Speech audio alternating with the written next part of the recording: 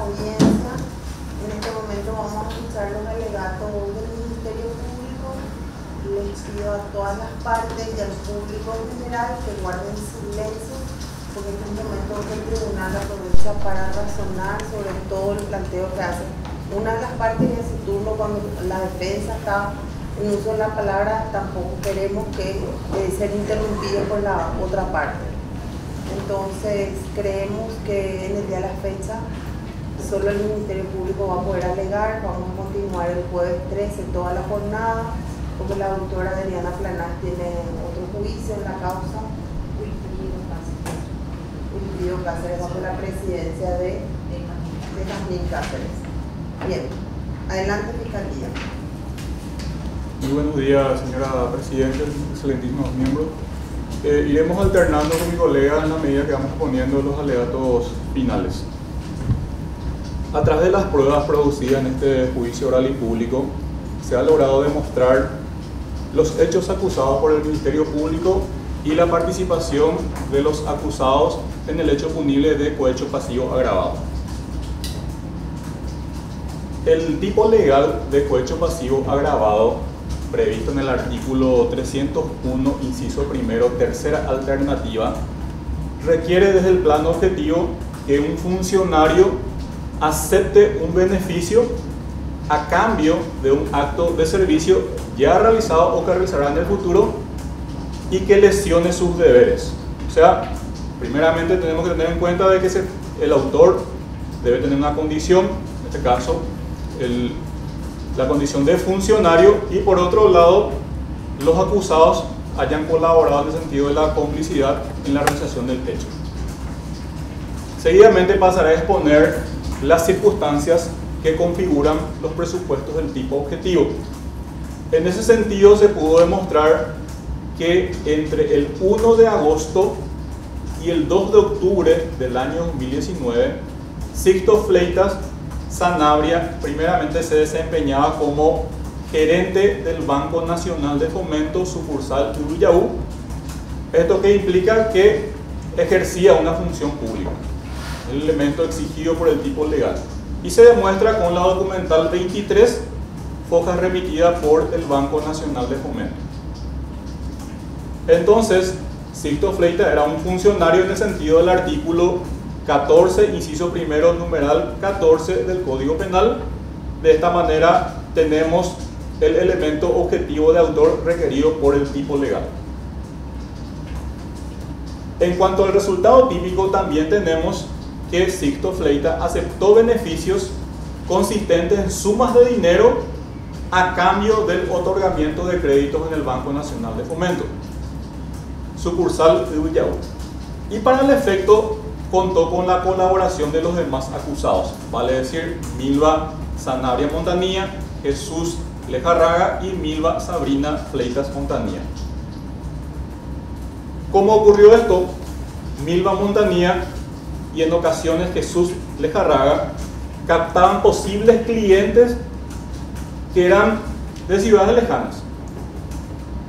Y aquí tenemos que hacer el, el siguiente hincapié al hablar de las reglas de experiencia, generalmente las personas acuden a las sucursales cercanas a su domicilio a solicitar un crédito y también son impulsados por sus propias necesidades o algún tipo de objetivo que tiene o plan que tiene una persona para solicitar un crédito.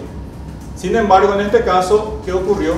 Que los propios acusados buscaban las personas y lo los trasladaban o, buscaban que se trasladen hasta la sucursal de Villabú para gestionar los créditos. Evidentemente que esto era motivado por un beneficio que ellos pretendían eh, obtener a partir de los créditos obtenidos en este caso en la sucursal de Villabú.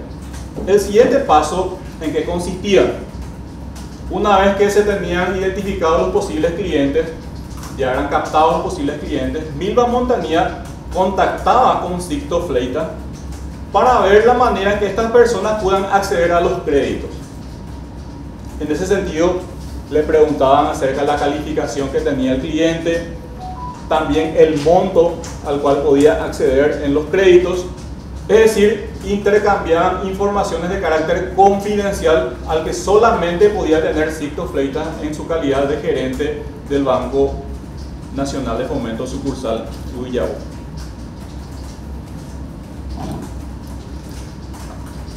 Una vez,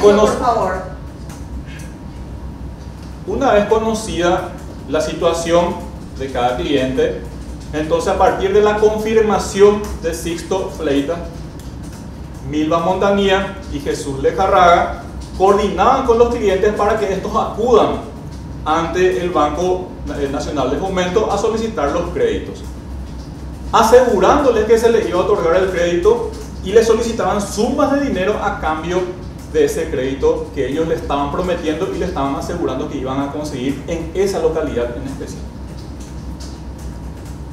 Seguidamente, el siguiente paso, entonces el cliente llegaba hasta la sucursal de Villaú, donde Milva eh, Montanía y en algunas ocasiones Jesús Lejarraga les esperaban frente al local mientras el cliente ingresaba a gestionar el crédito y luego al salir se reunía nuevamente donde le entregaban la suma que le correspondía, la cual posteriormente era dividida con Sixto Fleitas.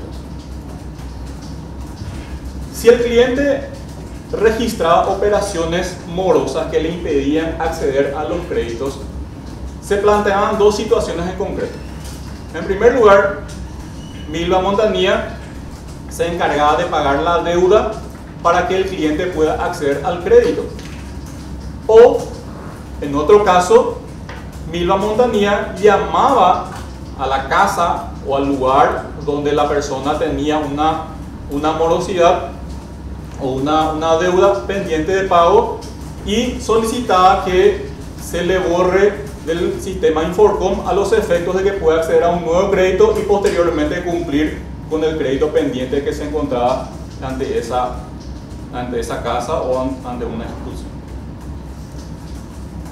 Una vez que el cliente recibía el crédito, entonces Milva obtenía un beneficio económico que posteriormente era compartido con Sixto Fleita y esto ocurrió hasta el 2 de octubre del año 2019, fecha en que fue realizado el procedimiento de entrega alquilada. Es decir, de no haber sido este procedimiento, quizás la conducta hubiese continuado porque esto venían haciendo repetidamente. Esta conducta realizada por Sixto Fleita con la colaboración de los demás acusados sin dudas lesionaba sus deberes. ¿Y cuáles eran sus deberes? A los efectos de, de conocer los deberes de Sixto Fleita, es necesario conocer la naturaleza de sus funciones. Sixto Fleita era un funcionario que manejaba información positiva y negativa relacionada al historial crediticio de una persona. Es decir, sabía las actividades crediticias que una persona tenía, conocía eh, todas las, las, deudas o el historial de morosidad que podía tener una persona, su nivel de endeudamiento, en general los riesgos crediticios que representaba una persona. Esa información manejaba en su condición de funcionario. Es decir, Sixto Fleita tenía acceso a informaciones relevantes para el otorgamiento de un crédito, lo cual le permitía a la institución tomar decisiones futuras acerca del otorgamiento o no y también a mitigar eventuales riesgos de morosidad que pueden surgir como consecuencia del perfil de cada cliente. Al ser un dato crediticio, evidentemente Sixto estaba obligado a guardar secreto, sin embargo, ¿qué hizo? Accedió a estas informaciones solamente para usarlo en su provecho personal y de los demás acusados también. Quedó demostrado en el juicio que con los demás acusados acordó la búsqueda y localización de potenciales clientes para luego verificar su historial crediticio y a partir del conocimiento de la situación buscaban acomodarlos. ¿Acomodarlos para qué?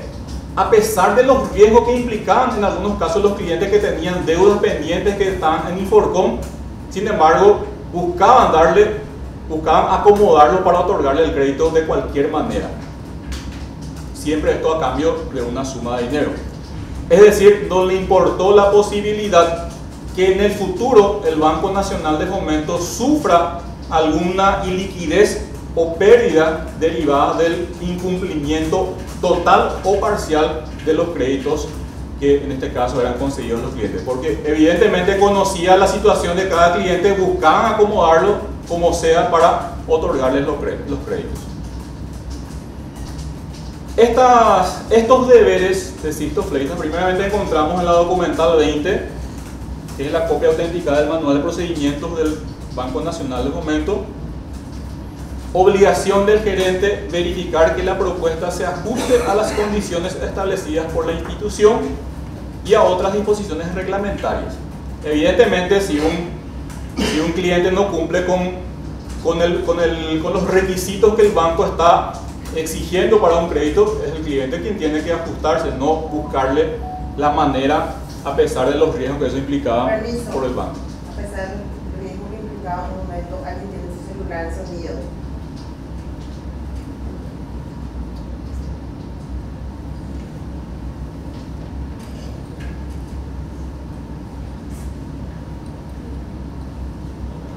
Adelante, adelante doctor. Gracias.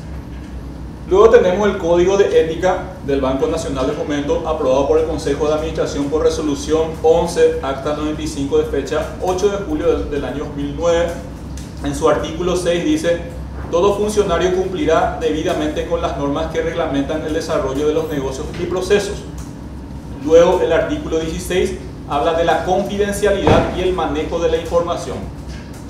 Los funcionarios del banco utilizarán la información que sea de su conocimiento en virtud de las actividades que desempeñan de manera confidencial y reservada y se abstendrán en todo momento de obtener o recibir beneficios personales por su divulgación o provocar detrimento a la institución.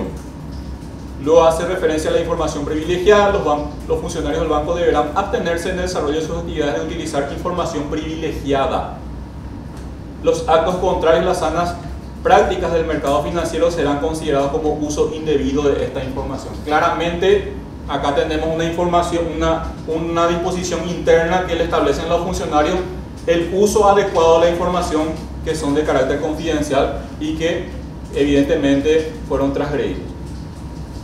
El artículo 20 también habla de deberes y responsabilidades de los directivos funcionarios. Los funcionarios gestionarán la información proporcional a los clientes con la más estricta confidencialidad. Luego tenemos el artículo 22, reglas de conducta en relación a los clientes. Los funcionarios siempre deberán actuar con imparcialidad, independencia, equidad y excelencia y de acuerdo a los objetivos de crecimiento y rentabilidad del banco. También tenemos el artículo 23, reglas de conducta operatoria en el marco financiero, donde se establece también todas las obligaciones de carácter financiero en el sentido del, análisis del, perfil, en este caso de una persona al momento del otorgamiento del crédito. De, estas disposiciones y de las reglas de experiencia, entonces se puede concluir que eh, los pasos que seguía Sixto eh, Fleita, ayudado por los acusados para el otorgamiento de crédito, sin duda lesionaba sus deberes, porque evidentemente existían normativas que le impedían actuar como lo hizo. Y hablamos tanto del código de ética como también de, del manual de, de funciones, de, en este caso de los funcionarios de dicha institución. Se puede sostener entonces con relación a Sixto Fleitas que se reúnen todos los elementos del tipo objetivo en su conducta previsto en el artículo 301, inciso primero, tercera alternativa, aceptara en concordancia con el artículo 29, puesto que aceptó sumas de dinero a cambio de otorgar créditos del Banco Nacional de eh, Fomento a clientes y esto lesionaba sus deberes en la manera que lo hicieron si bien ya fue, ya fue mencionada cuál fue la conducta de los demás acusados, eh, conviene puntualizar qué fue lo que hicieron y de qué manera ayudaron a Sixto Fletas. En ese sentido, Milva Sabrina Montanía Amarilla y Jesús Lejarraga ayudaban a Sixto Fleitas a través de la captación de clientes, organización del traslado de estos clientes, acompañamiento de los clientes hasta el Banco Nacional de Fomento, donde esperaban a estas personas y luego obtenían las comisiones que habían sido solicitadas para posteriormente repartirse esas comisiones con Sixto Fleitas. En el caso de Milva Montanía especialmente, había una comunicación constante con Sixto Fleitas en las, que, en las que había un intercambio de comunicación confidencial, como ya fue mencionado, y seguían unos pasos que eran, que eran repetidos en el tiempo. No fue una vez, no fue dos veces, vamos a ver con los medios de prueba que esto era de manera secuencial y, y frecuente. ¿Para qué? Para asegurar que estos clientes puedan acceder a los créditos y de esta manera puedan obtener beneficios a través de esa concesión de créditos. Por su parte, eh, Milva, perdón, Milva Fleitas coordinaba con su madre el pago de las deudas que tenían los clientes y también el porcentaje que le cobrarían cuando estos accedan a los créditos. Y de esta manera también colaboró a la conducta de Sixto Fleitas. En consecuencia, con relación a los tres acusados, se puede sostener que se reúnen los requisitos del aspecto objetivo establecido en el artículo 301, inciso primero, tercera alternativa, en concordancia con el artículo 31 del Código Penal. También cabe mencionar que el artículo 32 del Código Penal, en el inciso primero, permite la sanción de las personas que actúen en calidad de cómplice, aunque no cuenten con el elemento objetivo autor. Situación en la que nos encontramos, puesto que si bien los acusados no tenían la calidad de funcionarios, actuaron eh, en calidad de cómplices y por lo tanto pueden ser sancionados en virtud a este artículo, pese a no tener la calidad requerida. Eh, habiendo establecido cuáles eran los, los presupuestos del tipo objetivo, pasamos al aspecto subjetivo.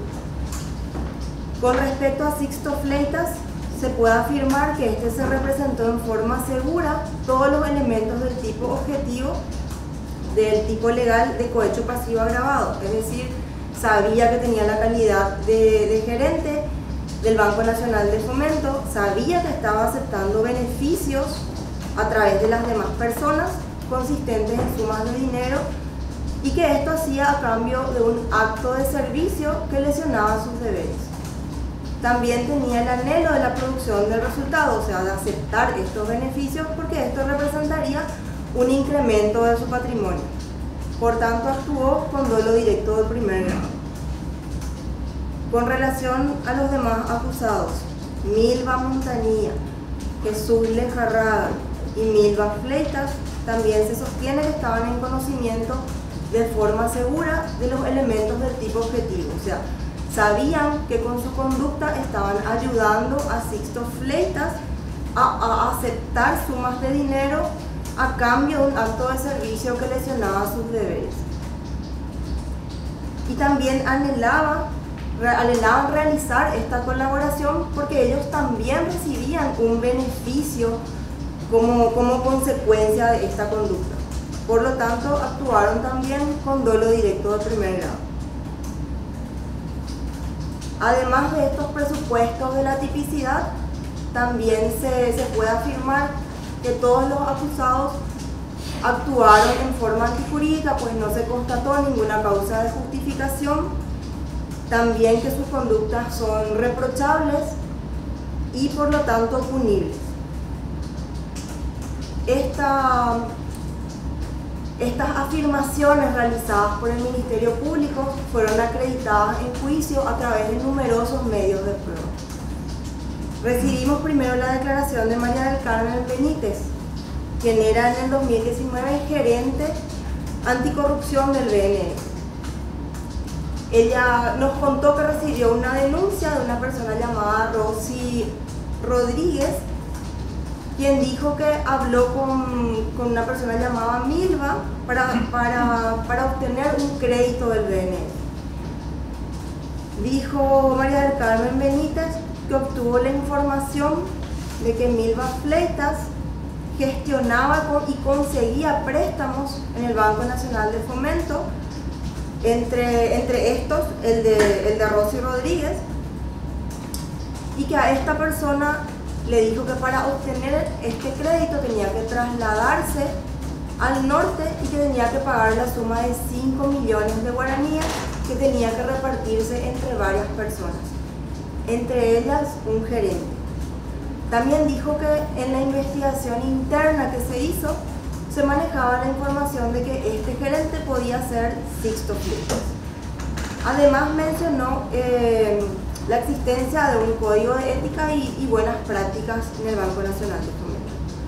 Estas manifestaciones de la testigo fueron corroboradas y reforzadas a través de la documental número 3 donde se encuentra el registro de denuncias ante la Gerencia Anticorrupción del Banco Nacional de Fomento de fecha 11 de julio del 2019, donde consta la denuncia que fue formulada por Rosy Rodríguez, quien, eh, quien dijo y se dejó asentado en ese documento que el 28 de mayo del 2019 se comunicó con Milva para obtener un crédito.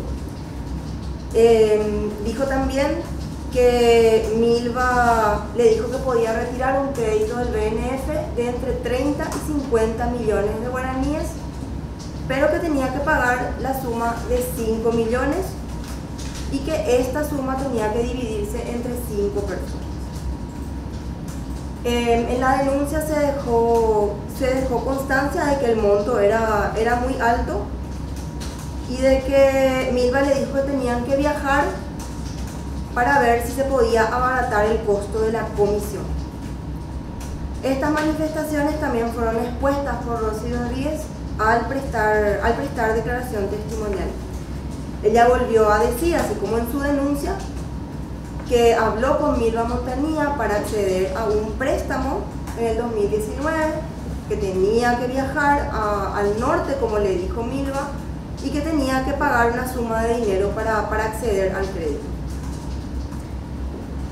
También dijo que, decidió no ir a, a al norte, y que ella llamó al Banco Nacional de Fomento y que accedió al crédito sin pagarle nada a nadie. Ante estos datos que fueron recibidos por el Ministerio Público en la etapa investigativa, se solicitó autorización judicial para grabar comunicaciones eh, de Sixto Fleitas, de Milva Montanía y también de una persona llamada Nidia Agüero que estaba siendo investigada en ese momento. También se solicitó autorización para realizar una vigilancia de las actividades realizadas por estas personas.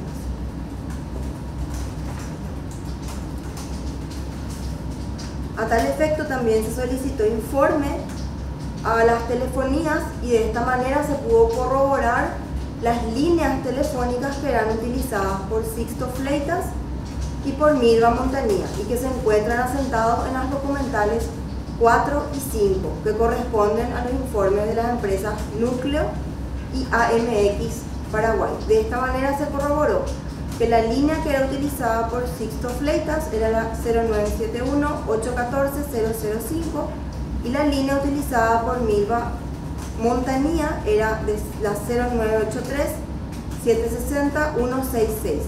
También se recibió información al respecto de la Senat a través de un informe que se encuentra en la documental número 6. El, procedimiento de intercepción de comunicaciones y de, de vigilancia estuvo a cargo de agentes de la Senat, quienes también prestaron declaración en este juicio.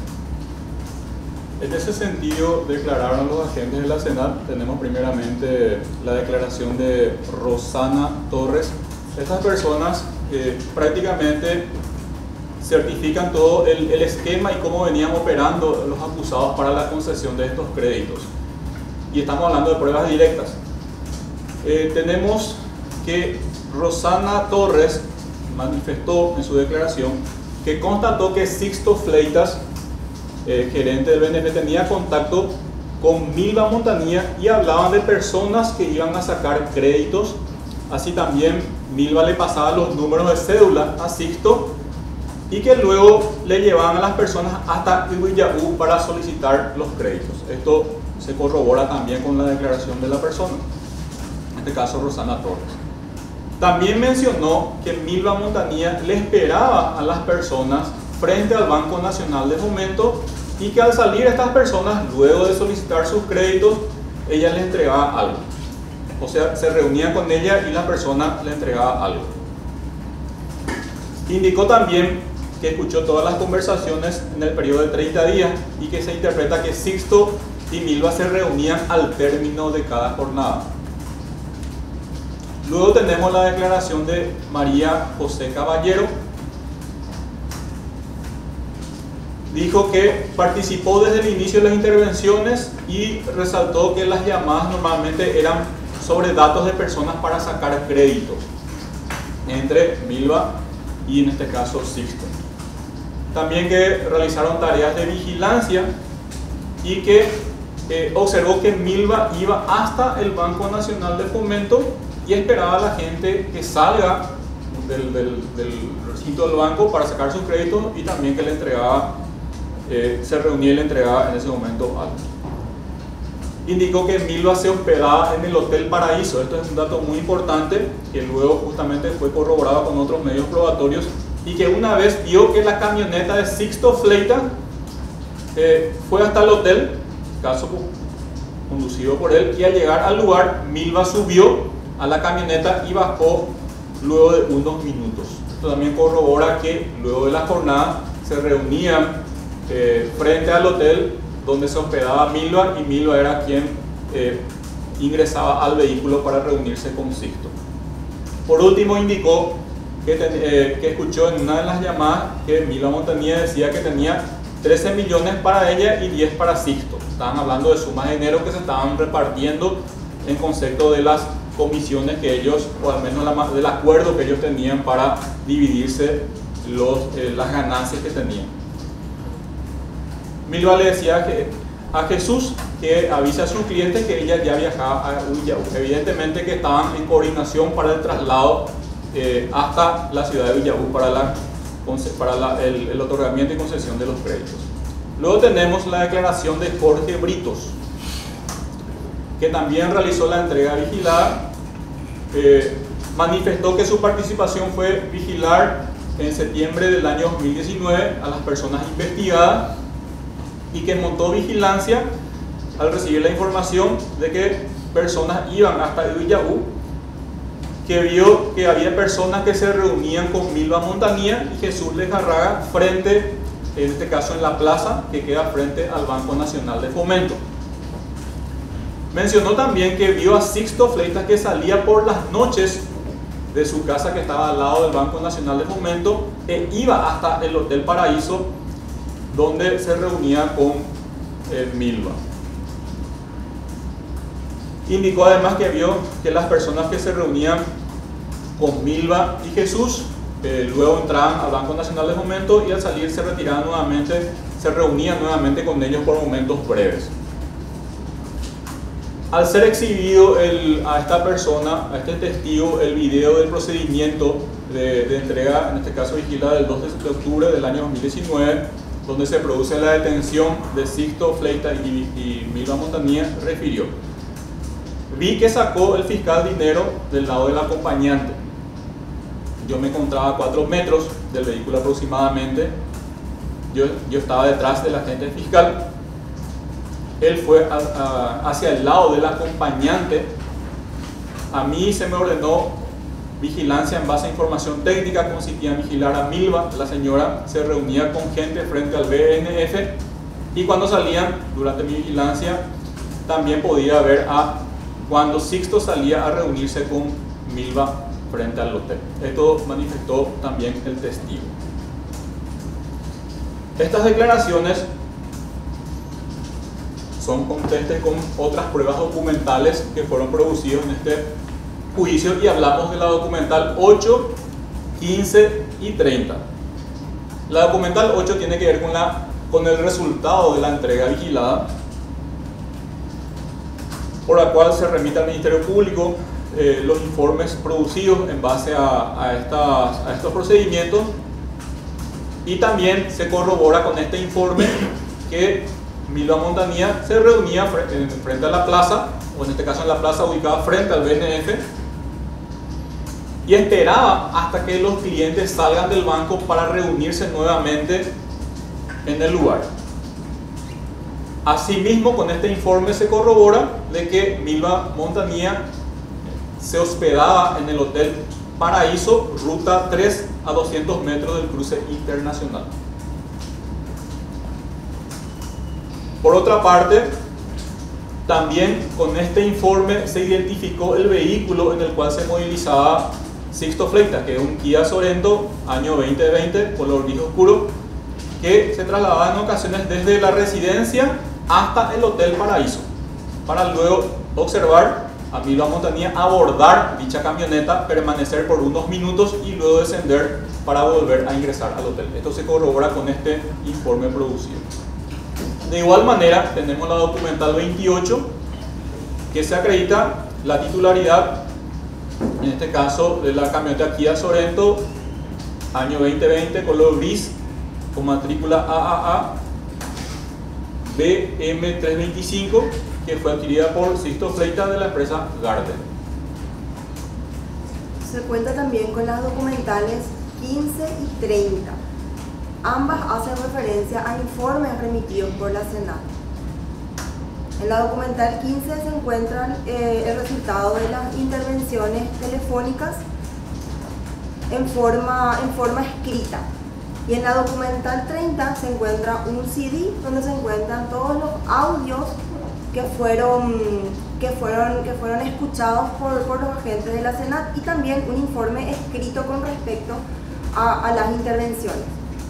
Durante la producción de estas pruebas se resaltaron numerosos audios que denotan una coordinación entre Sixto Fleitas y Milva Montanía para obtener información sobre clientes, que estos se trasladen a Villagua a gestionar sus créditos, también encuentros con los clientes por parte de, de Milva y también de Sixto, y también se habló de entregas de dinero. En ese sentido, es importante mencionar algunos de estos audios. En el audio con terminación 09 del 9 de septiembre del 2019, que se encuentra a páginas 6 y 7 del informe, así como en el audio con terminación 04 del 12 de septiembre del 2019, que se encuentra en la página 24, se habla de calificación de clientes. En el primero, Mila le dice a, una persona llamada Nidia que hace rato ya le envía a Sixto la foto de Silvio, si puede llamar al BCP y pedir su calificación. Nidia le dice que ya llamó. Y Milva entonces le dice si es seguro, ya se encuentran mañana. En el siguiente audio mencionado, Milva le dice a una persona llamada Lili que habló con Sixto y le dijo que Francisca está todavía con calificación 6. Luego también se cuentan con audios que hablan de clientes que iban a acudir al BNE. Se encuentran con el audio, se cuenta con el audio con terminación 04 del 16 de septiembre del 2019, que está en la página 33, donde Sixto le comenta a Milva que esta semana va a estar con la auditoría y que no iba a conceder créditos le dice Milva que tiene cinco clientes y entonces Sixto le comenta que va a estar avisando el lunes y que ahí ya podrían ir. En el audio con terminación 03 del 18 de septiembre del 2019, que está en la página 41, Sixto le pregunta a Milva, para mañana, ¿cuántos podés traer si me habilita? Le dice. Y Milva le dice, cinco puedo llevar mañana nos vemos. Y en el audio con terminación 81 del 12 de septiembre del 2019, que está en la página 25, Sixto le dice a Milva, estos clientes que hoy retiraron sus créditos, dos o tres por ahí no tenían documentos. Si el lunes me podés enviar. A lo que Milva, Milva eh, contesta y dice que se compromete a enviar en días posteriores. En estos audios también se recibió información con respecto a, sumas de dinero que tenían en su poder y que tenían que entregar a Sixto. Se cuenta con el audio con terminación 89, está en la página 74, del 26 de septiembre del 2019, donde Milva le dice a una persona llamada Betty, 24 tengo. Betty le dice, sí, está bien. Y después con lo que tenés que darle a Sixto, tu ganancia es 960. Milva le dice, decile a Bebeta que te transfiera tu comisión. En el audio con terminación 22 del 13 de septiembre del 2019, Milva le comenta a una persona que tiene una cliente que es, que es jubilada, dice, le dice jubilada con 14 millones, acá en Fernando de la Mora, y quiere sacar un préstamo. Ella no está ajena a pagar el 10% de lo que le salga. Imagínate si le sale 500 millones. Mira le dice, yo quiero pasarte algunos números de teléfono. Así me ves cuánto podés sacar. Y yo me hago cargo de los gastos y los problemas como Inforcom. Y por esta consulta yo te voy a pasar un giro de 300 mil. Si no hay problema, voy a hablar con la gerente de Villamorra y le dice, si bien en esta conversación no está hablando con Sixto Fleitas, se puede, se puede corroborar la forma de operar de Milva Montañía con un funcionario del BNF de otra sucursal, donde está actuando en forma similar a la realizada con Sixto Fleitas. Se cuenta también con el audio de con terminación 45, que está en la página 25 del 13 de septiembre del 2019, donde Milva Montanía le dice a su hija, ya hablé con un doctor acá del BNF y quiero hacer un giro de 300 mil. Nosotros pagamos porque le vamos a sacar plata. Él está en quinta y me va a facilitar información de clientes.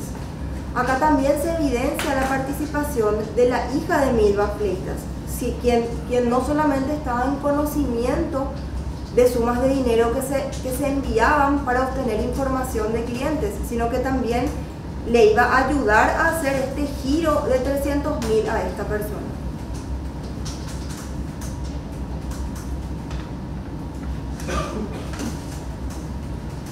En el audio 84 del 26 de septiembre del 2019, Milva le dice a una persona llamada Betty, en mi poder tengo acá 11 millones y 13 deposité, entonces hace 24 millones.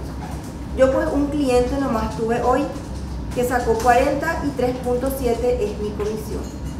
Acá se vuelve a hablar de sumas de dinero y de la obtención de una comisión como resultado de un crédito se vuelve a encontrar información con respecto a clientes en el audio 56 que está en la página 91 del 2 de octubre del 2019 donde Milva le dice a Sixto que tiene un cliente que va a venir y le pregunta su calificación. Sixto le dice que al día siguiente no iba a estar. Luego, Sixto le dice que si no tiene Inforcom, todo iba a salir bien, que no iba, que no iba a haber problemas.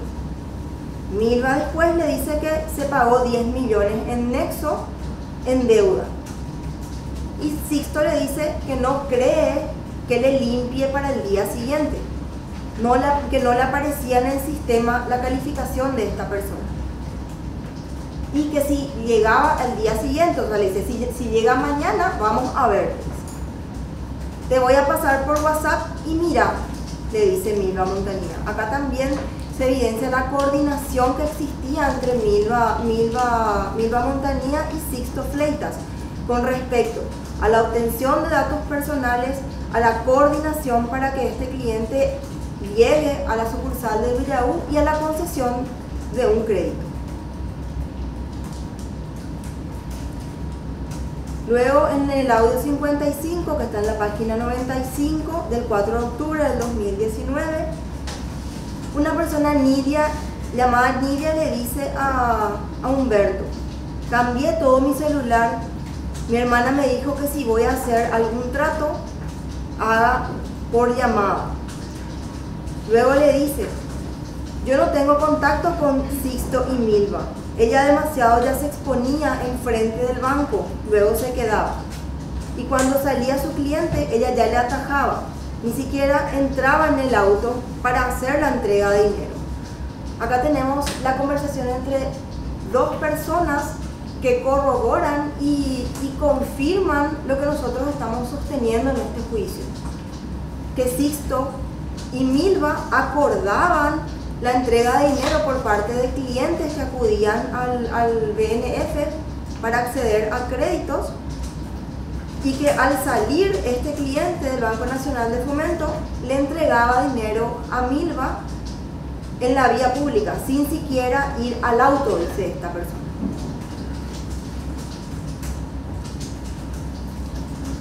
La colaboración de Jesús Lejarraga también se evidencia a partir de las siguientes conversaciones.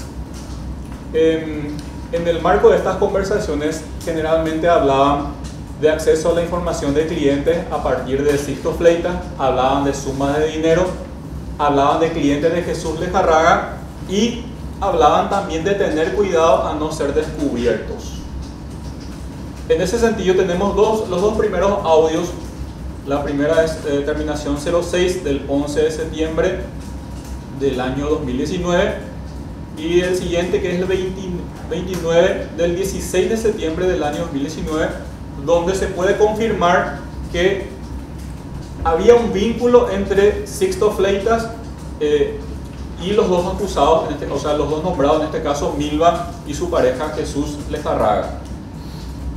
Tenemos el primer audio que Milva le dice a su pareja, vos le vas a poder pasar a Sixto para confirmar y esos dos números también y Milva le responde sí, ya está todo. En el siguiente audio comenta que tenía dinero que cobrar y que Sixto ya le avisó. Evidentemente existía un vínculo que se deduce a partir de, esta, de estas conversaciones.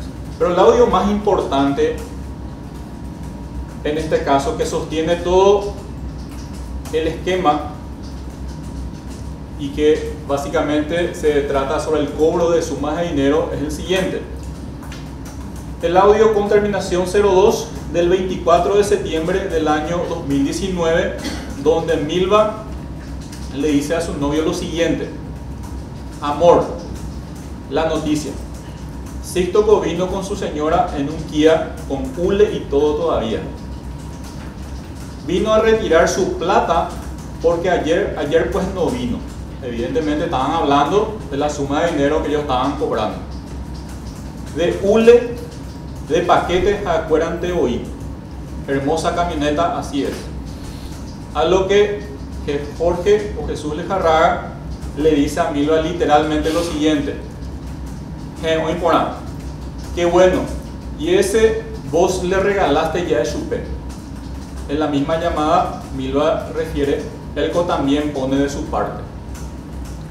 Entonces este audio aporta un dato sumamente importante porque hablaba de que Sixto pudo comprar la camioneta gracias a los beneficios que obtenían de los créditos que estaban realizando como un negocio con Milva y que era en ese concepto que estaba obteniendo el beneficio, en este caso por los créditos. También tenemos el audio con terminación 85 del 19 de septiembre del año 2019, donde Milva le dice a su pareja un millón dentro de 48 horas, no puedes hablar con él así, hacemos la gauchada. Después le responde, hay que ver con quién hablo, que no sea que le quieran joder, porque Alan me dice que no es así. Luego en el siguiente audio que es... Este de Alan, ¿qué número es? Sí, terminación 85 del 19 de septiembre de 2019. Luego tenemos el audio con terminación 36, página 62, del 24 de septiembre del año 2019, donde Milva le dice a Jorge, consulta si con quién hablo con la gente del hogar. Jorge le dice que le pasa un número, o sea, le pasa el número con el cual puede contactar. Milva seguidamente le consulta sobre un término y le responde Jorge que es demanda. Que le diga que su cliente habla en español, que ya es gestora y que también habló con Sixto Fleitas. Y, y que te dan el parámetro después ellos hablan con Sixto y, le y quién es la persona a quien le da el ok y está todo solucionado. Es la manera como ellos venían operando con el cliente. El siguiente es el audio 76, página 77, de fecha 28 de septiembre de 2019, donde Milva le dice a su pareja, con Bolaños lo que hablé, pero pero que dijo que tenés que parar nomás ya, por lo menos un rato por ahora. No va a pasar nada tranquila nomás. Le responde la persona, el perjuicio que hace la chica es que nombra a la sucursal de allá. Evidentemente ellos querían ocultar este dato para evitar ser descubiertos. Después tenemos el audio con terminación 79 hojas 77 y 78 de fecha 29 de septiembre, donde una persona de nombre Lili le dice a Milva, tenemos dinero y tenemos oportunidad de hacer más cosas. Y vamos a ver qué pasa la semana que viene. Milva le responde, yo no le voy a llamar a él por si su teléfono esté intervenido y hablé también con Bolaños y me dijo que me calme un poco y él también se va a calmar. Luego tenemos el audio con terminación 91, página 79 de fecha 30 de septiembre del año 2019, donde Jesús le dice a Milva, tengo una buena noticia, hablé con el muchacho que tenemos para sacar préstamo y me dijo, tranquilo, yo no voy a decir nada. Yo entiendo demasiado bien, tranquilo nomás. Después tenemos el audio 65, con terminación 65 de fecha 2 de octubre del año 2019, donde Jorge Lejarraga le dice a su pareja, Mila Montanilla, lo siguiente, me llamó este muchacho, 39 nomás, y me preguntó, decirle que me dé 40 para preguntarle un poco a Sixto, por favor. Evidentemente estaban hablando de un crédito y estaban pretendiendo acceder a una suma mayor a lo que le habían prometido. El audio con terminación 64 de la página 93 de fecha 2 de octubre del año 2019, Milva le dice a una mujer, Flora, suegra, acá estamos todo bien, a los clientes de Jorge le salió, le salió todo y mañana ya nos vamos, ya nos, ya nos vamos a tener clientes porque el señor del banco viaja, mañana el viernes recién viene de vuelta. Milva Fleitas, no está permitido el uso de celular durante el desarrollo de la audiencia. Sí. Menos un audio porque quiere decir que usted no está siguiendo las alternativas del juicio.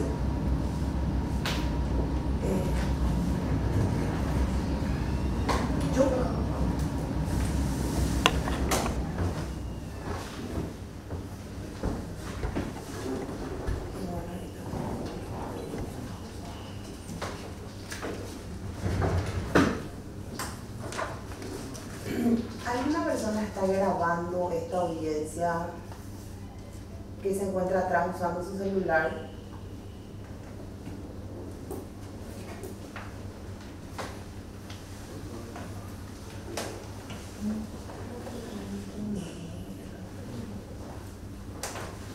Bien. Seguimos.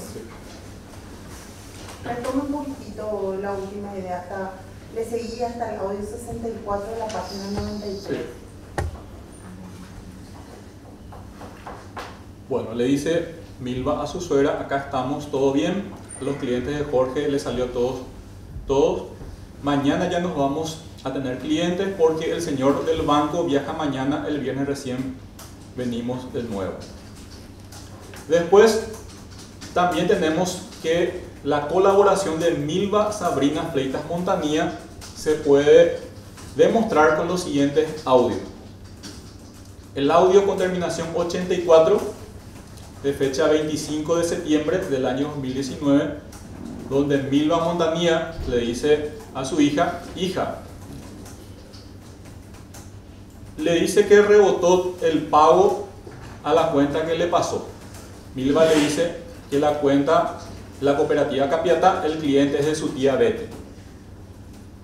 El siguiente audio, que es el 64, de fecha 26 de septiembre del 2019, Milva Fleitas le dice a su mamá, mamá, ya le volví a hacer, le cambié el nombre completo, le puse cooperativa 8 de marzo, algo así, como está en internet, vamos a esperar a ver si, si rebota y vemos qué hacemos.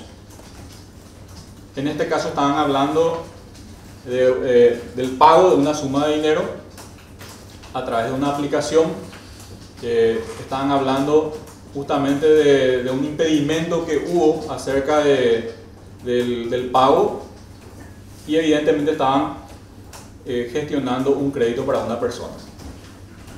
El audio con terminación 89 del 1 de octubre del 2019, Milva, madre, le dice a su hija, ya sé quién es, es el cliente de Betty, nomás había sido para quedarnos, era para quedarnos tranquilos.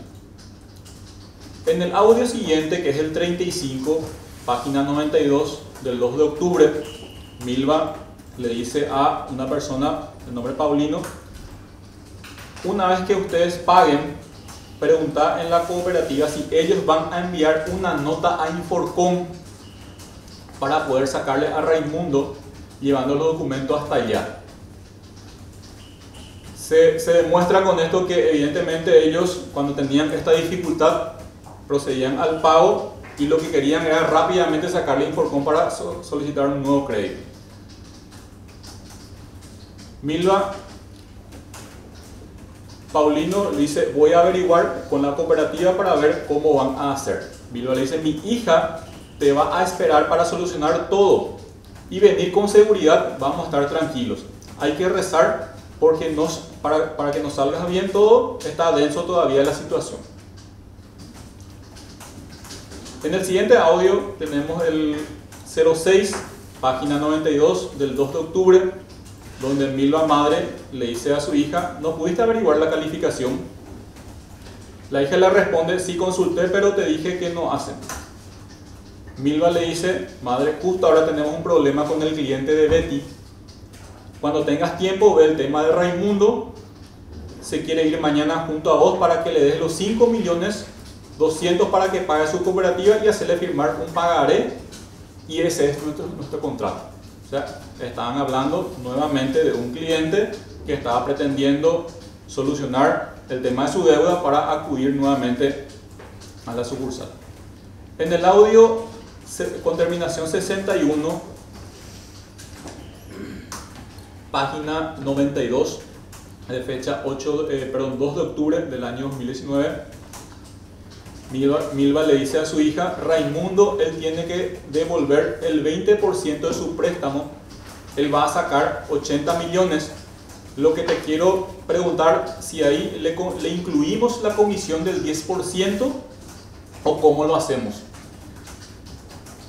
Y la hija le responde, y mi tía le puso, pero si es Argel mejor no le decimos nada, pero si no, es así como le ponemos. Milva, madre, le dice, el préstamo de dinero es el 20%, hago y te paso sí. Con esto se puede apreciar de que Milva coordinaba con su hija, eh, primeramente la verificación del perfil del cliente, la existencia de algún impedimento para que pueda saldar las deudas, el porcentaje que ellos tenían que cobrar, la manera en que iba a hacerlo y cómo iban marchando de acuerdo a las indicaciones que iba recibiendo de parte de su madre. También eh, recibimos un, informe pericial de extracción de datos que fue, fue desarrollado, desarrollado en este juicio oral con respecto al contenido de las comunicaciones entre Sixto Fleitas y Milva Montanía. A través de este informe se pudo confirmar que los acusados mantuvieron eh, comunicación constante entre el 1 de agosto del 2019 y el 2 de octubre del mismo año.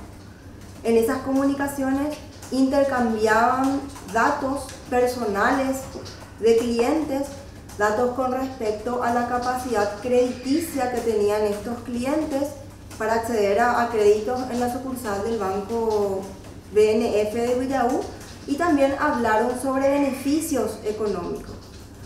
Es así que en la comunicación que está en la página 249 del 20 de septiembre del 2019, Milva le dice a Sixto, Selva solo espera calificación, ¿verdad Sixto?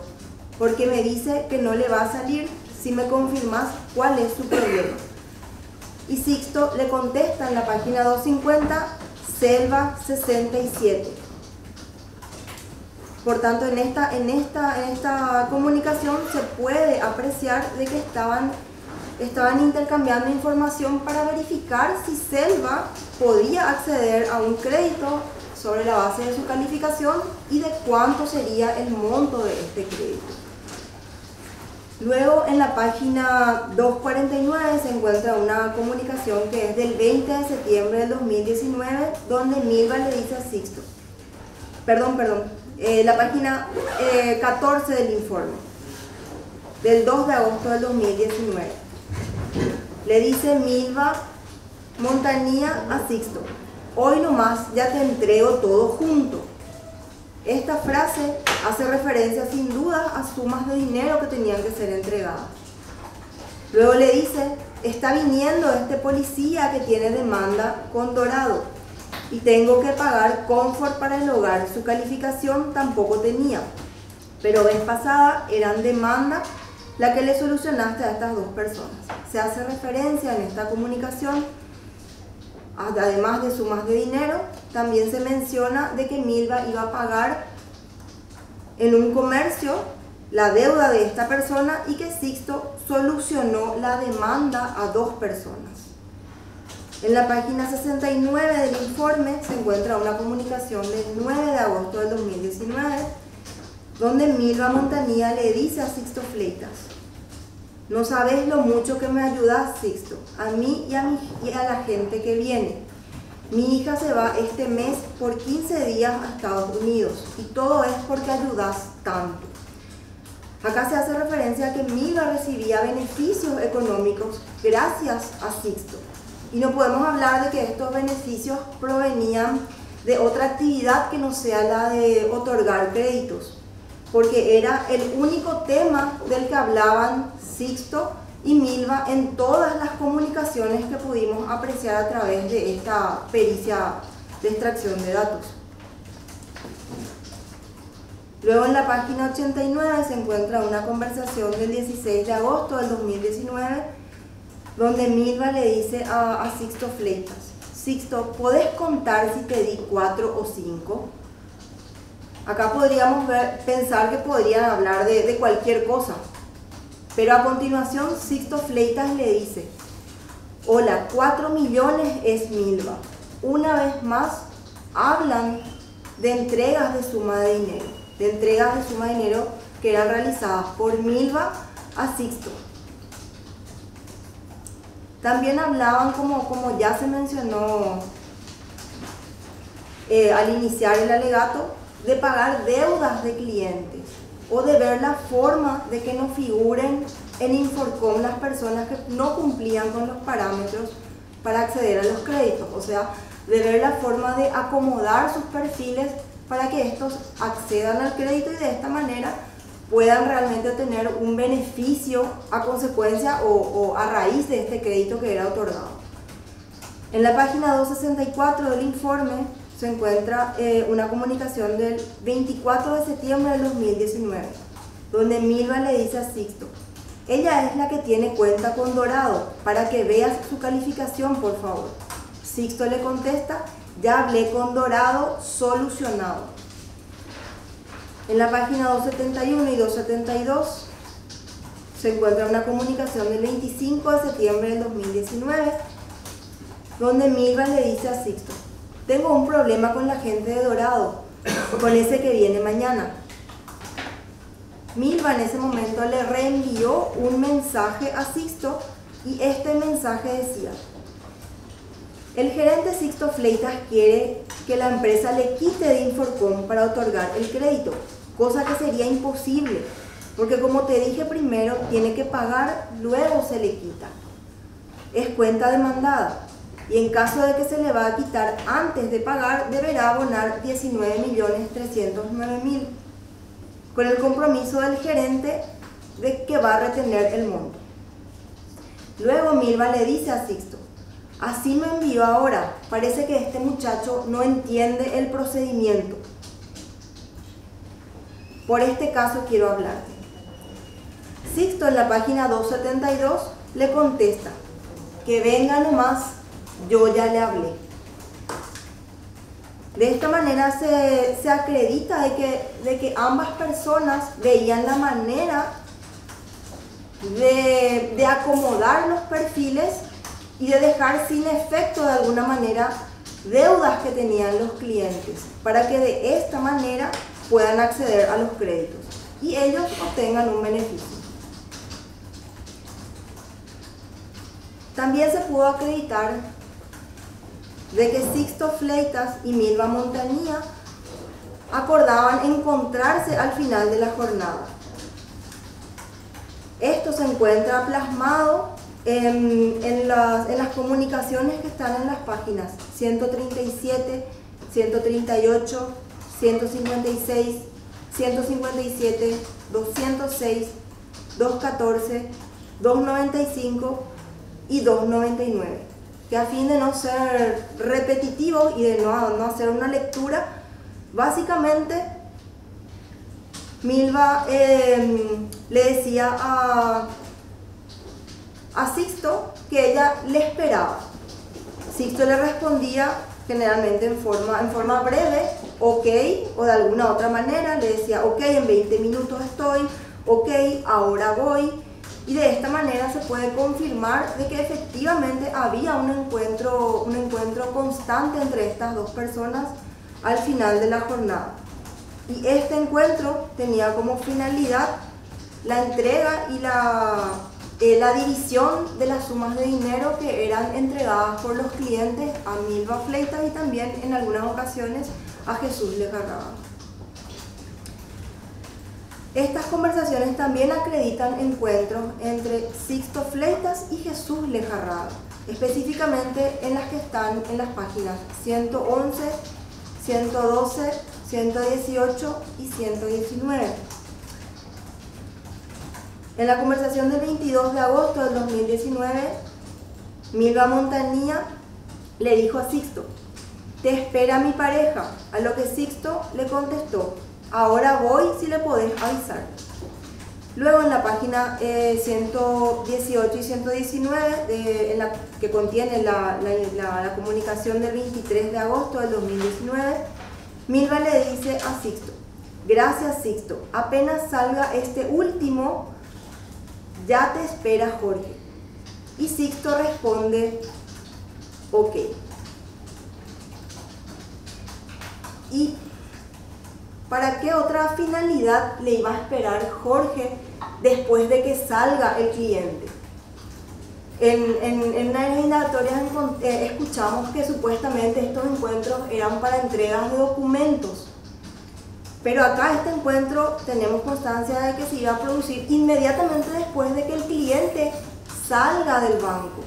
Entonces no hay forma de pensar de que iban a entregarse documentos en ese momento puesto que el cliente acababa de salir, porque el cliente no hizo entrega de ese documento si ese era el fin realmente. De esto se puede deducir que eh, el encuentro que, que, siempre se daba entre Sixto y Jesús Lejarraga también era para la entrega de sumas de dinero que provenían de los clientes que entregaban luego de obtener los créditos. De esta manera, del informe de donde está el resultado de las vigilancias que obran en la documental 7, también las documentales 15 y 30 y la extracción de, de comunicaciones, la extracción de, de conversaciones de WhatsApp entre Milva Montanía y Sixto Fleitas confirman el modus operandi de los acusados, es decir, la coordinación que existía entre Milva, Montanía y Sixto Fleitas para el otorgamiento de créditos, previa, previa verificación de Milva de los clientes, previa consulta a Sixto con respecto a, a la situación crediticia y la posibilidad de que estos clientes eh, accedan a, a créditos, eh, el posterior encuentro de los clientes con, con Milva Montanía y a veces con Jesús Lejarraga, frente al Banco Nacional de Fomento, la espera a estos clientes frente al banco y em, la, posterior, la posterior entrega de sumas de dinero de, por parte de estos clientes a Milva, a Milva, Milva Montanía y también a Jesús Lejarrado. Así como también la división que existía posteriormente de estas sumas de dinero con Sixto Fleitas. También tenemos la documental 12, que es el acta de procedimiento en la vía pública, donde se produce el último encuentro entre Sixto Fleitas y Milva Montanía. Tenemos en primer lugar que a las 20, 20 y 40 horas Sixto Fleitas llegó frente al Hotel Paraíso a bordo de un vehículo color rojo, chapa HEE 461, que es propiedad de su esposa. Luego también se acreditó que en ese momento eh, baja junto a él, ingresa al habitáculo del vehículo Milva Montanía y en ese momento se produce el procedimiento donde se encuentra la suma de 2.900.000 guaraníes en poder de Milva. En la documental 11 también obra el acta de procedimiento realizado en el Hotel Paraíso de fecha 2 de octubre, donde se produce la detención de Jorge Luis Lejarraga. Además de estas pruebas, se acreditaron tres casos puntuales que tienen que ver con los créditos. Primero tenemos el caso de la señora Carmen Modesta Jara. Al, prestar su declaración ante este juicio oral y público, dijo que se presentó ante el Banco Nacional de Fomento de Villaú para solicitar un crédito, un préstamo de 20 o 25 millones a 60 meses. Indicó que solamente le pidieron un certificado de trabajo para otorgarle el crédito.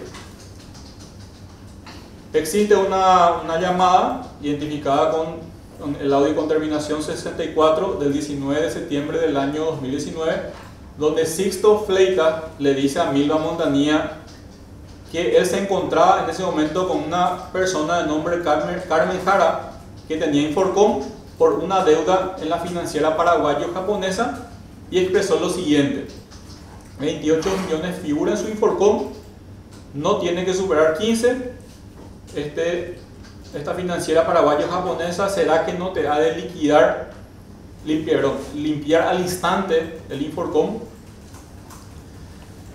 de esto se infiere que Carmen eh, Jara no tenía la capacidad para acceder a un crédito. Evidentemente existía un impedimento que, le, que en este caso eh, era un obstáculo para eh, concederle un crédito. Sin embargo, lo que estaban buscando era limpiar ese obstáculo para poder otorgarle ese crédito por encima del riesgo que eso significaba para la entidad bancaria otorgarle un crédito de esa naturaleza a una persona y más todavía en ese monto. Ese mismo día se produce otra llamada, que es la con el, que se identifica con el audio 306. Milva Montanía se comunicó con la financiera paraguaya, paraguayo-japonesa y se hizo pasar por Carmen, Jara. Es decir, buscaba, a toda manera buscaba en este caso, sacarle de Inforcom y tal es así que se hizo pasar por la misma titular del crédito, solicitando que le saque de Inforcom, que el gerente esperaba una comunicación con ellos, el gerente que en este caso estaba para el nuevo crédito, y que su nuevo crédito dependían de que le saquen Inforcom. La persona que le atendió la llamada le dijo lo siguiente, las cosas no se hacen así, esto es una entidad financiera, nosotros no podemos ingresar y sacar eh, de Inforcom. Claramente le dice que eso era algo totalmente irregular, que la persona para salir de Inforcom necesariamente debía de abonar una deuda y en este caso eso es lo que trataban de evitar.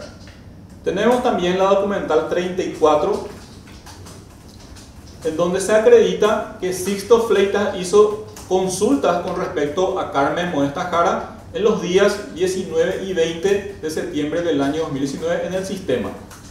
Tenemos que se, se le otorgó el crédito el 20 de septiembre del año 2019. Si bien Carmen eh, Modesta Jara no eh, confirmó que en este caso abonó sumas de dinero en concepto de comisión, sí lo hizo ante el Ministerio Público en el momento de la etapa investigativa.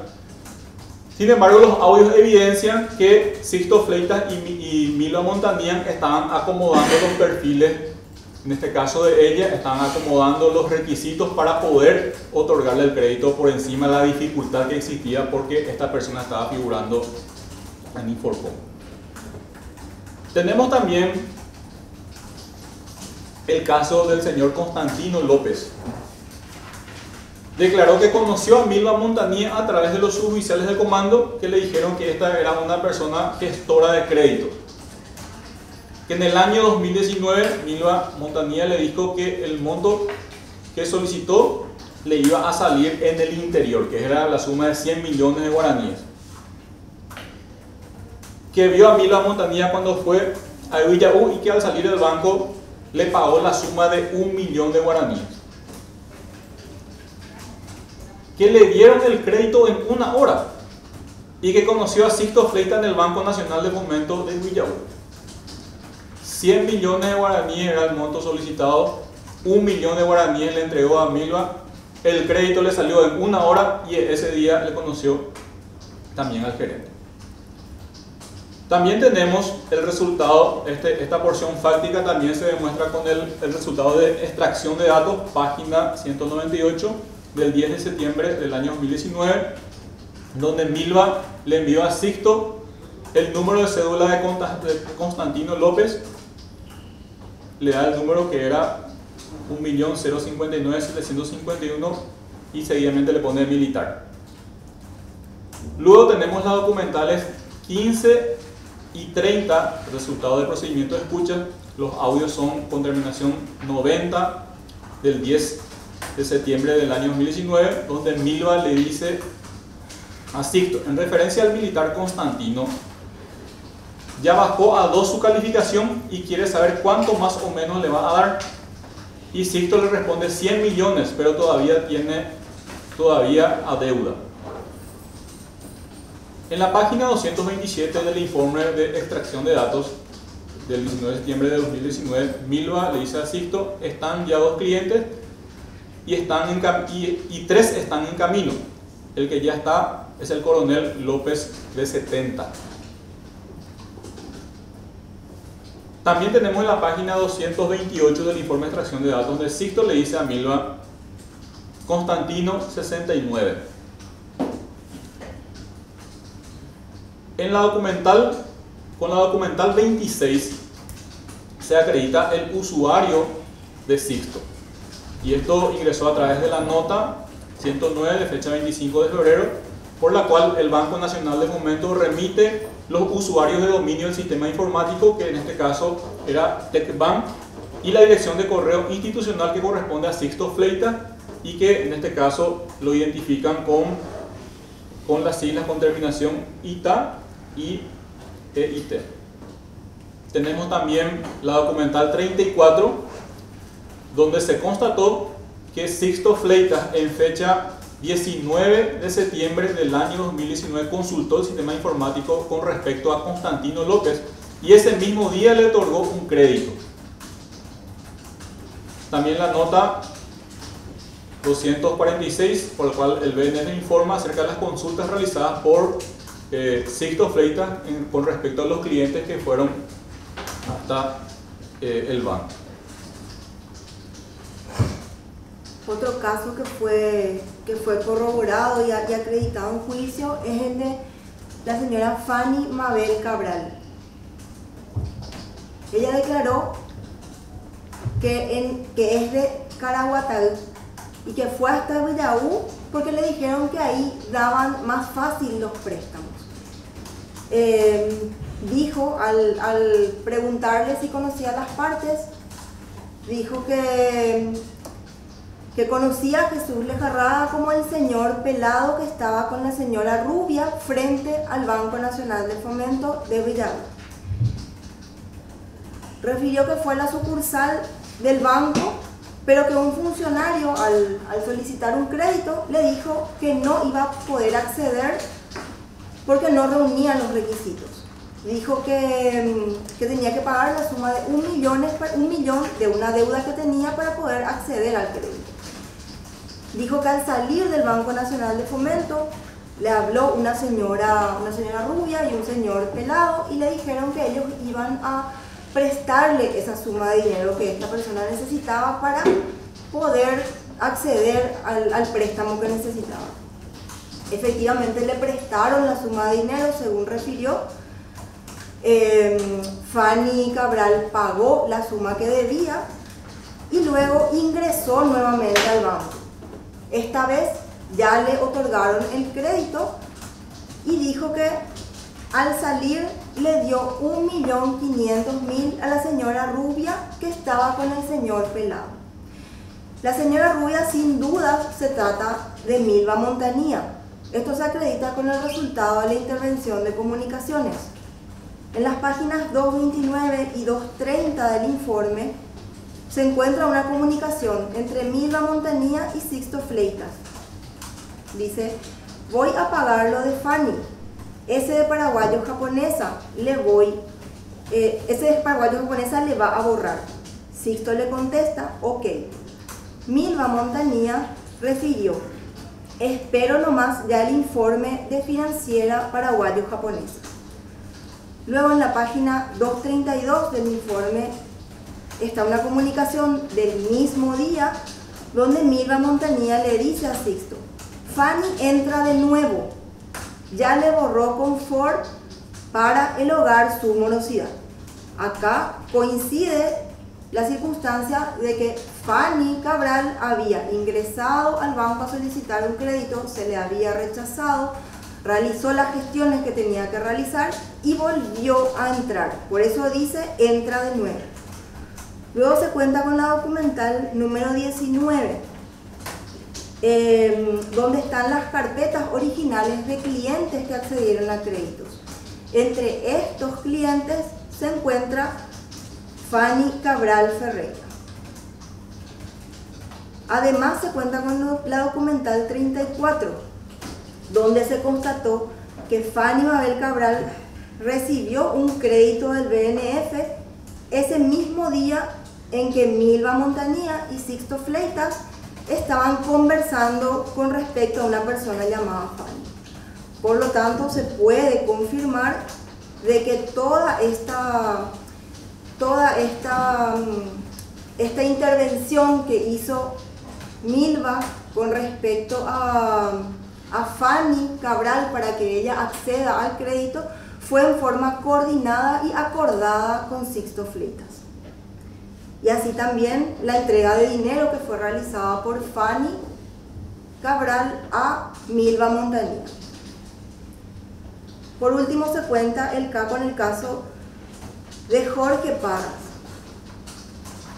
Esta persona al prestar declaración dijo que en el 2019 le conoció a Milva Montanía a través de un camarada de la policía, a quien le comentó que necesitaba un crédito por problemas económicos dijo que, que a través de, un, camarada llamado Víctor Rodríguez fue hasta Villaú acompañados por Milva Montañía, que le dieron en ese lugar un crédito de 9 millones y dijo que pagó un millón por la gestión. También dijo que Milva Montanía le preguntó si tenía otros compañeros para, para sacar préstamos y que luego él le envió certificados de trabajo por encomienda a Guayabú dirigidos al gerente del Banco Nacional de Fomento. Acá nuevamente se, se, puede corroborar la participación de Sixto Fleitas en esta, en esta, en esta situación realizada por, por Milva. ¿verdad? No podemos decir que Milva en forma autónoma realizó esta gestión, entre paréntesis, con Jorge Parra, puesto que después le dice que le puede enviar mayores, mayores datos con respecto a otros clientes a través de encomienda y dirigido al gerente del Banco Nacional de Fomento, lo que acredita la participación de Sixto en toda la operativa. En conclusión, con las pruebas producidas en este juicio oral y público se pudo demostrar que la conducta de los acusados son típicas y que también son antijurídicas porque no actuaron, en este caso no se encontraban amparados por una causa de justificación, también son reprochables porque tenían la capacidad de conocer la conducta que estaban realizando y tenían la capacidad de optar por, eh, en base a ese conocimiento. No existía un elemento o un obstáculo que impida la aplicación de la sanción penal, por tanto también son punibles. En ese sentido, pudimos notar a través de las pruebas que las conductas fueron recurrentes y que se violó la misma disposición penal en varias ocasiones. En ese sentido, pasaremos a analizar los presupuestos de la medición de la pena en base a lo dispuesto en el artículo 65 del Código Penal. Primeramente, empezando por Sixto Ramón Fleitas. En el punto 1, referente a los móviles y fines del autor, en este caso eh, tenía como finalidad la obtención de un beneficio indebido, sin embargo esto se encuentra abarcado por el tipo legal, por lo tanto no se aplica. En el segundo punto, la forma de realización del hecho y los medios empleados, esto se tiene que tener en contra porque actuó con dolo directo de primer grado en cuanto a la intensidad de la energía criminal utilizada en la realización del hecho, esto también en contra. Eh, Sixto Fleita accedió al sistema informático TechBank del Banco Nacional de, Fomento para consultar los perfiles del cliente al solo efecto de obtener, de obtener un beneficio indebido. Entonces, en base al conocimiento que tenía, reportaba esa información a Milva para reacomodar, para buscar superar los obstáculos que tenía esa persona para acceder, al crédito. Se aprovechó de los clientes que no tenían suficiente conocimiento de aquellos requisitos que debían reunir y también de la necesidad de algunas personas que tenían en ese momento de acceder a un crédito. Les convencían para viajar al interior del país, en lugares lejanos a su domicilio para acceder en base a las ventajas que él le ofrecía por su posición de gerente, en este caso del Banco Nacional de Fomento.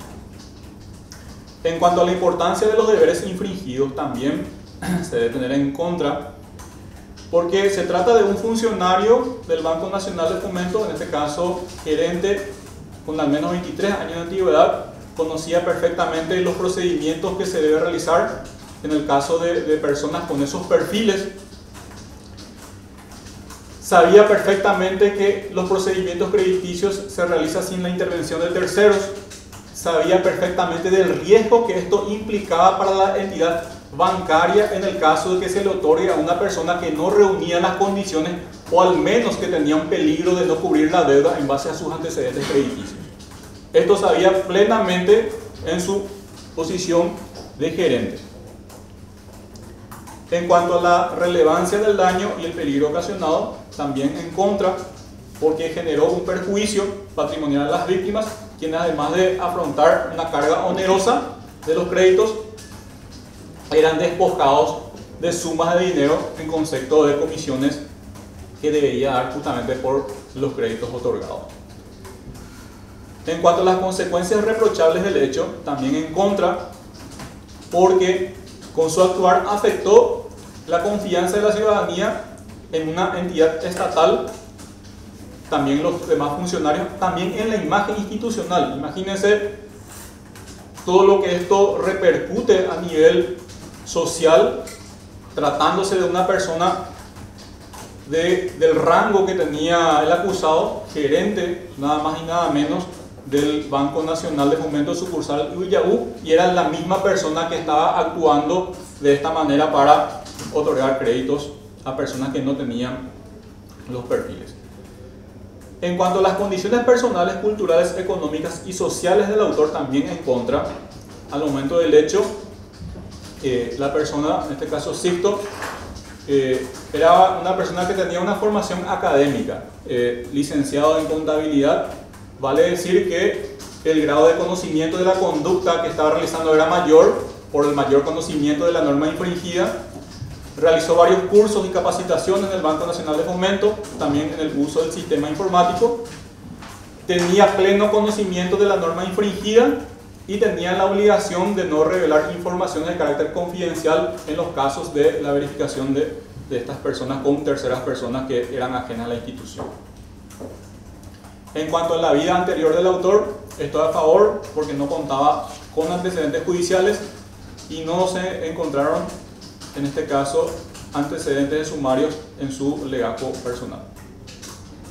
El 9, la conducta posterior a la realización del hecho y en especial los esfuerzos para eh, reparar el daño y reconciliarse con la víctima.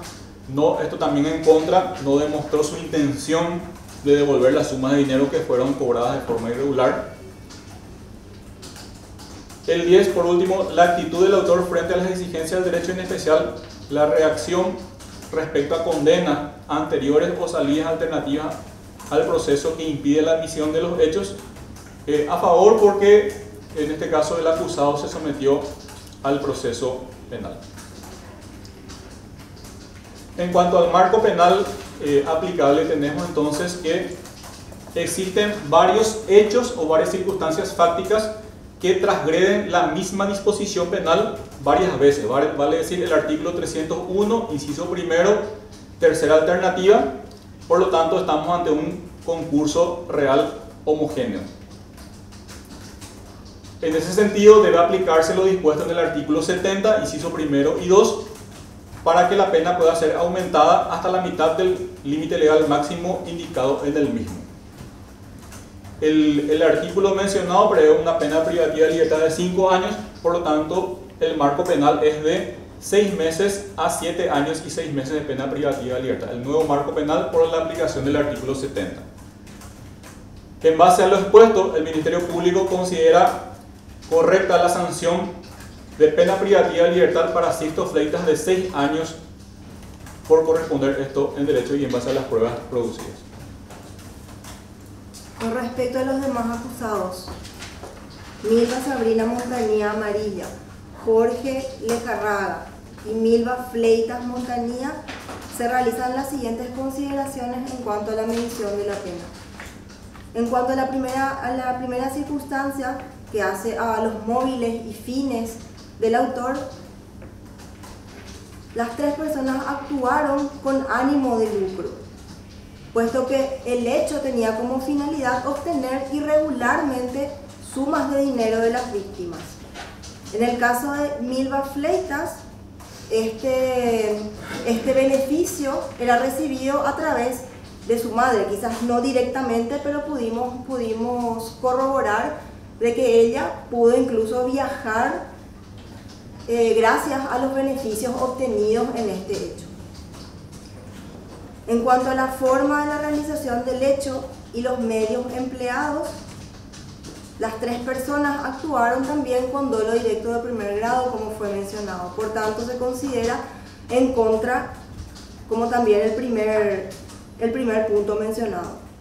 Con respecto a la intensidad de la energía criminal utilizada en la realización del hecho, también se considera una circunstancia en contra porque estas personas se aprovecharon de personas que necesitaban créditos y no tenían suficiente conocimiento de los requisitos y procedimientos para acceder a préstamos en el Banco Nacional de Fomento.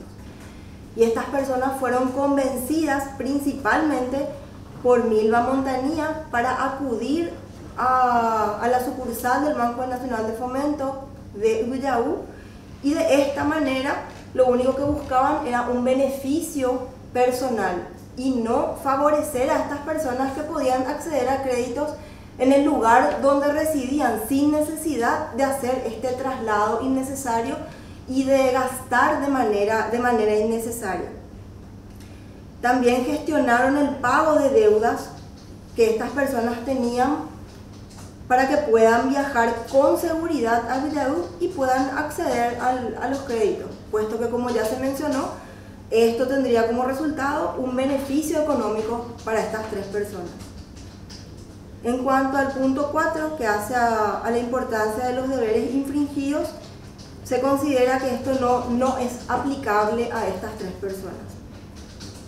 El punto 5, que hace a la relevancia del daño y del peligro ocasionado, se considera que estas tres personas generaron un perjuicio patrimonial a varias personas, quienes además de afrontar una, una carga onerosa por los créditos, también eran despojadas de, un porcentaje de, de, ese crédito y tenían que gastar adicionalmente para trasladarse hasta la sucursal de Villaú. Por lo tanto, se considera una circunstancia en contra. En cuanto a las condiciones reprochables del hecho, también se sostiene que las tres personas con su actuar afectaron la confianza de la ciudadanía en el Banco Nacional de Fomento y de sus funcionarios. El punto 7, que hace las condiciones personales, culturales, económicas y sociales, también se considera una circunstancia en contra. En cuanto a Milva Montañía Amarilla, se pudo corroborar de que ella tiene título de docente, de que tiene experiencia en el rubro comercial y de casas de crédito. Por lo tanto, conocía perfectamente los procedimientos para el otorgamiento de préstamos de las entidades financieras y sobre todo del BNF. Y tenía pleno conocimiento de la norma y de, lo que estaban de que lo que estaban realizando era irregular. En cuanto a Jesús Lejarraga y Milva Fleitas, ambas personas eran, eran personas mayores de edad con pleno conocimiento también de los procedimientos para el otorgamiento de créditos y eran personas económicamente activas. En cuanto a la vida anterior de las tres personas, se considera que es una circunstancia a favor porque las tres personas eh, no contaban con antecedentes judiciales. En cuanto al punto 9, que hace la, la conducta posterior a la realización del hecho y los esfuerzos para reparar los daños y reconciliarse con la víctima, se considera una circunstancia en contra, puesto que ninguno de los tres acusados demostró la intención de devolver las sumas de dinero que fueron recibidas como consecuencia de este hecho. Por último, en cuanto a, la actividad del autor frente a las exigencias del derecho y en especial la reacción respecto a condenas anteriores o salidas alternativas al proceso que impliquen la admisión de los hechos se considera que es una circunstancia a favor, puesto que las tres personas se sometieron al proceso penal. Bueno, una vez eh, verificadas todas las circunstancias, pasaremos entonces a verificar cuál es el marco penal aplicable para estas tres personas. Como ya fue mencionado, nos, encontramos ante, ante varios hechos que fueron realizados con respecto a la misma disposición penal, o sea, el artículo 301, inciso primero, tercera alternativa, en concordancia con el artículo 31, complicidad, y el artículo 32, inciso primero. Entonces, esta disposición fue transgredida varias veces por las tres personas mencionadas. Existe entonces un concurso real homogéneo. Esto permite la aplicación del artículo 70, inciso primero, y segundo, que da la posibilidad de aumentar racionalmente la pena hasta la mitad. El artículo mencionado eh, o sea, el artículo 100, eh, 301, inciso primero, prevé una pena privativa de libertad de hasta 5 años. Aplicando las reglas del concurso, esta pena se eleva al marco de 6 meses a 7 años y 6 meses de pena privativa de libertad. Sin embargo, este marco penal no, no puede ser aplicado a estas tres personas debido a la atenuación obligatoria que se encuentra prevista en el artículo 31 y también en el artículo 32 del Código Penal. Dicho esto y, y so- sobre base de la, medi- de la medición re- realizada, el Ministerio Público considera que la sanción que corresponde para Milva Montanía Amarilla es de tres años de pena privativa de libertad. En cuanto a Jesús Lejarraga, la pena que considera correcta es de dos años de pena privativa de libertad. Y con respecto a Milva Fleitas Montanía, se solicita la pena de un año de pena privativa de libertad. Esto, señoría. Bien. Bueno, hasta acá llegamos entonces ya a la fecha. El jueves 13 de junio vamos a empezar a las 7.30 de la mañana con, la, con los alegatos de la defensa 1 y luego con la defensa 2. Buenos días, doctor. Sí, quería consultar si vamos a hacer esta misma sala o abajo y también la autorización del tribunal, si es que vamos a hacer aquí para traer nuestra, nuestra pantalla. Está todo autorizado eso, Sí. doctor. Porque si es abajo no, no tenemos necesidad de traer, podemos usar la pantalla que está por la pared. Traigan no, creo que cualquier cosa. Correcto. No estamos seguros. Lo que hicimos hoy es conceder esa sala porque otro juicio que nos permite eso, que tenemos demasiados tomos que no podemos llevar hasta el piso 2. Sin Pero con ustedes no nos pasa eso, así que no sé cómo estará el sistema ese día. Por secretaría pueden consultar, pero depende de coordinación. depende de coordinación. O sea, ella nos va a dar la información, pero va a la bien. Información. Es que necesito me perforen acá así. Buenos días. Buenos días.